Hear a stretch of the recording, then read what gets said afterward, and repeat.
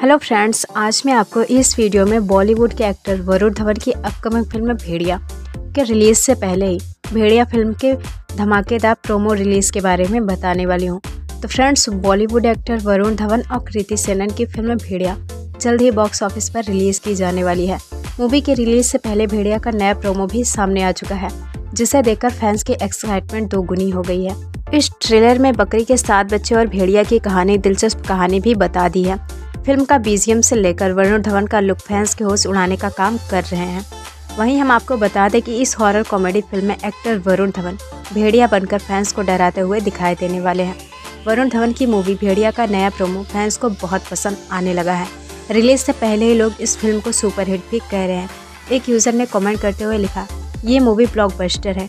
भारत की पहली creature comedy यह नेक्स्ट लेवल है और भारतीय इंडस्ट्री के लिए नया बेंचमार्क सेट करने वाले हैं। भेड़िया की पूरी टीम को बधाई। तो वहीं दूसरे यूज़र ने लिखा, ये है अपना बॉलीवुड।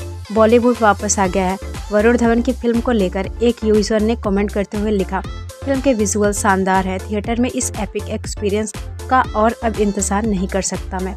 खबरों का कहना है कि वरुण धवन और कृति सेनन, मूवी भेड़िया 25 नवंबर को रिलीज़ होने जा रही है। इस फ़िल्म को हिंदी के साथ साथ तमिल और तेलुगु में भी रिलीज़ किया जाने वाला है। मूवी को देश भर में 2D और 3D में रिलीज़ की जाने वाली है। इस मूवी को जहाँ अमर कौशिक ने डायरेक्ट किया है तो वहीं भेड़िया को जियो स्टूडियो और मेडॉक फिल्म्स ने मिलकर प्रोड्यूस किया है। इस फ़िल्म को लेकर फैंस में ज़बरदस्त एक्साइटमेंट देखने को मिलने लगी है। बात करें वरुण धवन की फ़िल्म भेड़िया के प्रोमो की तो प्रोमो बहुत ही अच्छा है और लोगों को खूब पसंद भी आ रहा है और फैंस के रिएक्शन भी अच्छे आ रहे हैं। तो फ्रेंड्स, वरुण धवन की फ़िल्म भेड़िया का न्यू प्रोमो आपको कैसा लगा? प्लीज़ कमेंट बॉक्स में कमेंट करके बताइए। और इसी तरह के वीडियो को देखने के लिए मेरे चैनल को लाइक शेयर एंड सब्सक्राइब ज़रूर करें।